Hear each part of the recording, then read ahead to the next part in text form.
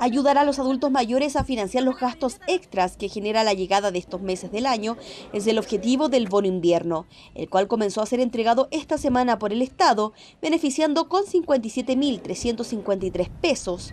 y al cual no hay que postular, siendo entregado a las personas que sean pensionados del IPS, que reciban pensiones básicas solidarias, del Instituto de Seguridad Laboral, de la DICREPA, de la CRAPEDENA, AFP y beneficiarios del aporte previsional solidario de vejez. Eh, tiene un monto de 57.353 eh, pesos para cada una de las personas que están beneficiadas con este beneficio.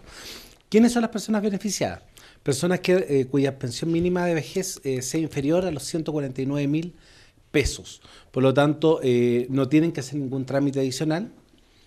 sino que basta con que eh, eh, el, IPS se va a hacer cargo de que esto se le, se le adjunte en la cuota del mes de mayo, cuando vayan a cobrar su, su pensión. Instancia donde la máxima autoridad de gobierno en la zona también invitó a la comunidad a informarse si son beneficiarios de este bono, como también al de marzo, el cual en su gran mayoría no es retirado por los favorecidos. Las personas muchas veces no tienen ni idea que son beneficiarios y esa es una platita que empieza a dormir eh, y cuando podría ser eh, cobrada por las personas. Así que eh, acérquense, el IPS es el,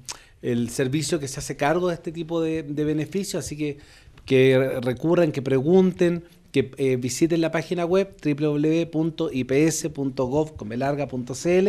y allí vayan viendo si son beneficiarios o no eh, para que efectivamente puedan eh, obtener este beneficio. Bono invierno que este año espera beneficiar a más de un millón de personas en todo el país, generando la entrega de más de 55 mil millones de pesos por parte del Estado.